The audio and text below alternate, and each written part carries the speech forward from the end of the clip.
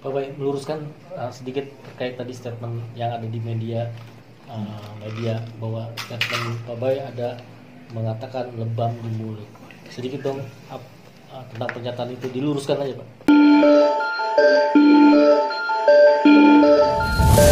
Pak Bay gimana Pak? Ada Nah, itu kan udah menyangkut mengenai ranah penyidikan. kita nggak Kita nggak mau komen. Itu. Nanti aja tunggu hasil penyidikannya seperti apa, hasil otopsinya seperti apa, hasil labnya seperti apa. Nah, nanti kan terang benderang. Jadi kita nggak, janganlah mendahului pihak ini pihak penyidik. Biarinlah mereka menjalankan tugasnya kan mereka profesional. Tapi Sule dan Iki sendiri mengetahui kabar kalau ada lebam-lebam itu dia dengar gak sih bang? Terus apa komentarnya gitu? Kan tadi uh, Iki melihat langsung juga. Ya, nah itu biarin aja nanti jawabannya.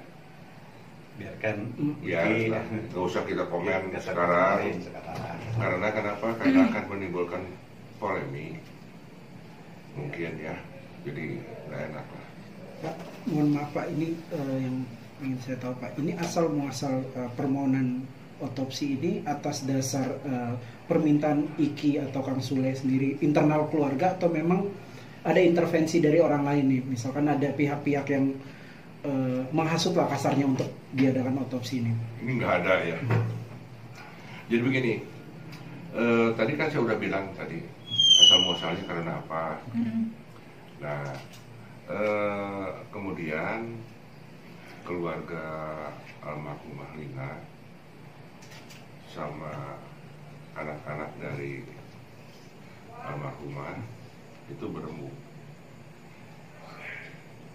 Hasil rembukan itu ingin mencari kebenaran, ingin mengetahui apa sih penyebab sebenarnya dari kematian yang mendadak itu.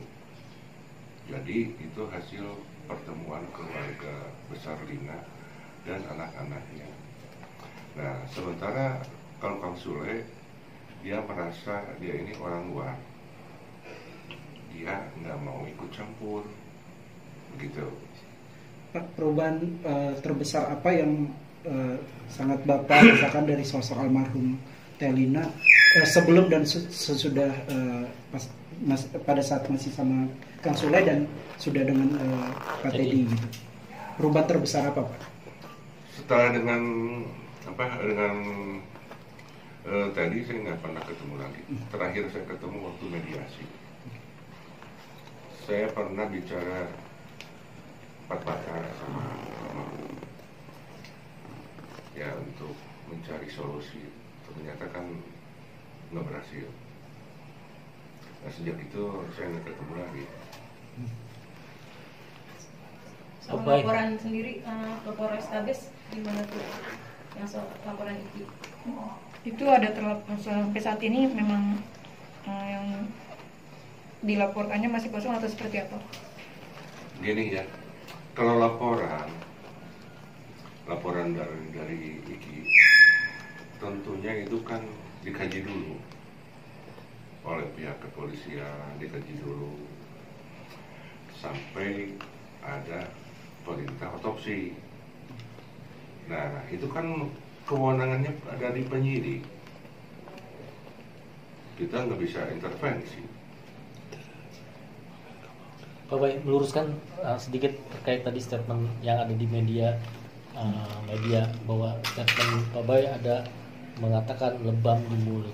Sedikit dong uh, tentang pernyataan itu diluruskan aja Pak. Kalau menurut saya, saya tidak pernah merasa menyatakan itu ya. Tapi Hmm. itu mungkin kita ngobrol, ada pertanyaan itu dia bertanya, tapi dia menyimpulkan sendiri. Hmm. Nah, tapi kalau mengenai hasilnya, ya kita tunggu saja hasil dari otopsi. Itu yang yang pas kan. Jadi jangan kita menduga-duga nanti ada yang kurang nyaman.